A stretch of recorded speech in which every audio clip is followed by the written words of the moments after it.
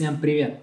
Мое предыдущее видео называется «Стаффордширский бультерьер Элли. Прогулки с лонгбордом». Извиняюсь за немного некорректное название, так как в том видео я катаюсь не на лонгборде, а на небольшом крузере. Но с тех пор прошло достаточно много времени, оно было записано еще в апреле, а сейчас уже середина июля, и я, а, можно ли так сказать, пересел, перевстал с небольшого крузера на лонгборд, так как мне очень понравилось на доске. Это была моя самая первая в жизни доска, несмотря на то, что мне уже скоро 33 года. В общем, я так кайфанул, стал кататься без собаки. Серьезно а, подошел к вопросу выбора второй доски и купил себе лонгборд от фирмы Хепри. Хепри или Хепри, ребята, как у вас правильно доски называются? Хепри, скорее всего. А, в общем, я не буду а, долго рассказывать про то, как я выбирал доску. А, просто Хепри, если думаете о покупке лонгборда, посмотрите, что делают эти ребята. В этом видео поговорим о преимуществах и недостатках прогулок с собакой на доске. Первое, о чем я хотел бы сказать, это то, что когда я только задумывался о каком-то дополнительном виде транспорта, чтобы разнообразить наши прогулки, я рассматривал роликовые коньки, но недолго, так как ролики вам нужно брать с собой, где-то переобуваться, потом заново переобуваться, их складывать в рюкзак. В общем, вот этот мне весь процесс а, а, не нравился, и а, ролики я так покупать не стал. Я думал про электросамокат, серьезно так задумывался, прям чуть ли не купил. Думал про велик, но недолго. А, и как-то неожиданно мне пришла в голову вот эта вот идея купить доску. И это была просто замечательная идея, самая лучшая для прогулок с собакой. Сейчас объясню почему. Как-то раз я арендовал электросамокат, и мы попробовали с собакой вот так вот двигаться. Она бегом, я на электросамокате. Получилось так себе, честно скажу. Потому что вы должны держать руль, и вы должны держать поводок. Ну, если у вас суперпослушная собака, и она никуда а, не побежит ни за какой кошкой, ни за другой собакой, тогда, может быть, вы просто гуляете с ней без поводка, катитесь на электросамокате, она бежит за вами. Этот вариант можно рассмотреть, но он мне не подходит, так как у меня всегда должен быть в руках поводок. Держать руль и держать одновременно поводок – так себе идея. Собака чуть дернула, и вы уже летите с этого самоката. А вот когда катишься на доске, замечательно. Ты просто на ней стоишь, у тебя руки свободны, и ты уже собаку можешь контролировать с помощью поводка без каких-либо проблем. Ну, относительно без каких-либо проблем, потому что проблем там хватает. Итак, главное, что нужно помнить, когда мы едем на доске с собакой, а, нужно научить ее понимать, когда можно бежать вперед, сломив голову, а когда нужно двигаться рядышком. И вот это очень-очень сложно. У меня на это есть две команды. То есть это команда со мной, которая подразумевает просто свободное такое движение, а, движение рысью, но не галопом. То есть не тянуть поводок и двигаться относительно спокойно рысью рядом. И Команда вперед – это когда можно просто со всей дури, со всех ног припустить и вообще так, чтобы только пятки сверкали. Вот эти вот две команды я использую, но не скажу, что они работают прям идеально. Я имею в виду команда а, первая, вот это вот со мной. А, ну еще одна команда должна быть. Это, конечно, команда остановки. То есть я а, использую по-разному. Я иногда говорю типа slow down, на английском, типа slow down, slow down. Вот. И э, когда я ногу спускаю на асфальт и начинаю ей тормозить, уже собака привыкла, слышит она этот шоркающий звук, и она сбавляет свою скорость.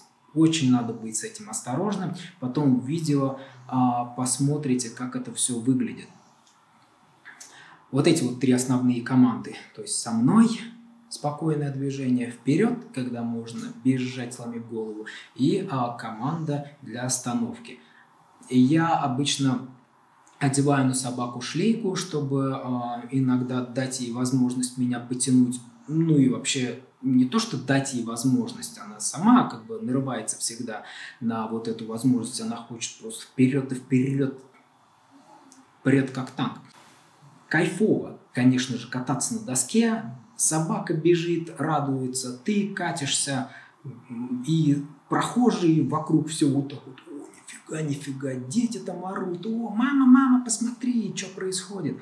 Вот, э, все радуются, но нужно, конечно, быть предельно осторожным, потому что собака может ломануться в сторону, а, увидев внезапно кошку. Такое случалось.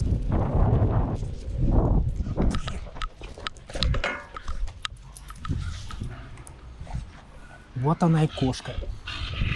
Может ломануться к собакам. А, что еще? А, может она просто невнимательно как-то вот свое, свое движение соотносить с доской и забегать вперед. Такое тоже бывает, и при остановках надо быть осторожным. И а, еще немаловажный момент, у нас а, во многих местах асфальт отвратительный, то есть нужно более-менее уверенно на доске стоять, чтобы не навернуться с нее. Небольшая кочка, камушек, и все уже. Вы можете потерять баланс и вспахать лицом асфальт. Готов?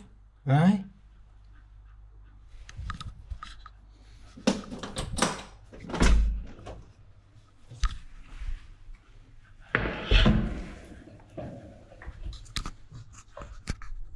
О,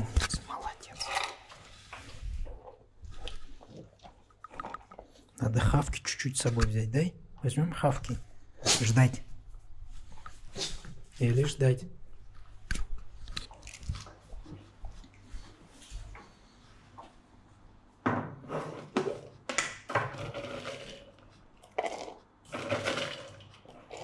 Вот тебе ништячки за то, что ты подождала.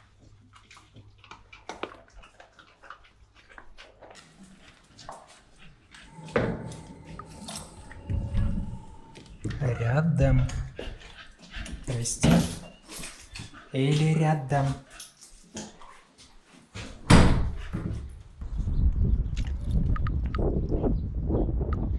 Или нет. Рядом.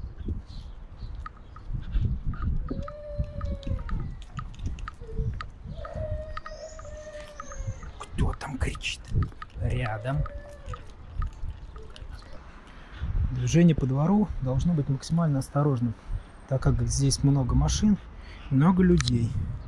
Но люди, ладно, машина опасна. Или со мной.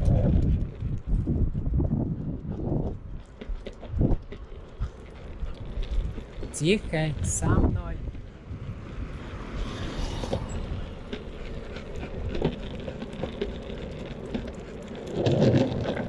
Стоп. Нет, со мной. Стой.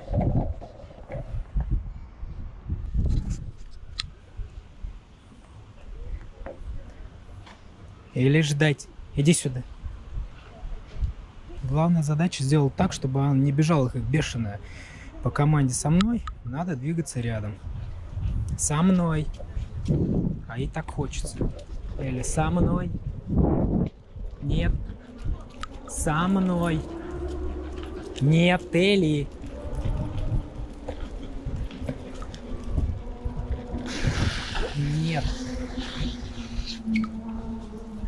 Со мной.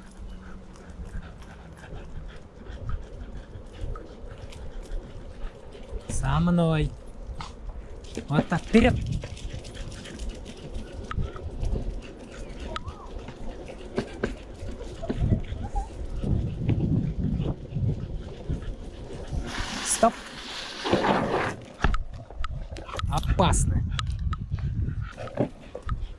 Нет, Элли, со мной, потихоньку.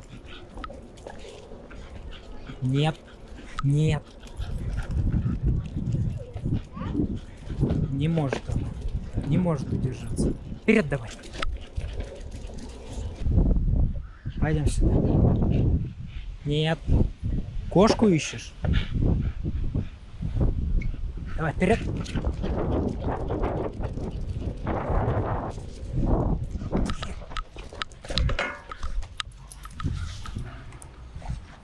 Вот она и кошка.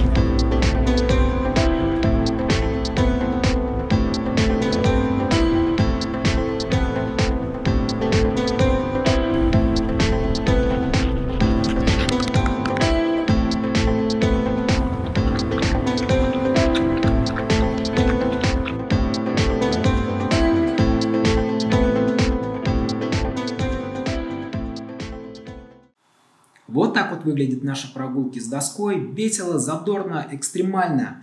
Кататься или нет, решать, конечно же, вам. Выбирайте, что больше по душе. Ролики, велик, либо доска. Я за движуху. Мне прямо было прикольно, когда я первый раз встал на доску а, и прокатился. И я хочу выразить большую просто благодарность своей собаке за то, что она скажем так, открыла для меня новое хобби. Я без нее стал кататься по вечерам, когда погода позволяет, и когда есть время, я просто беру доску и еду кататься по улицам. Так что большое ей за это спасибо. Пробуйте что-то новое. Увидимся. Всем пока.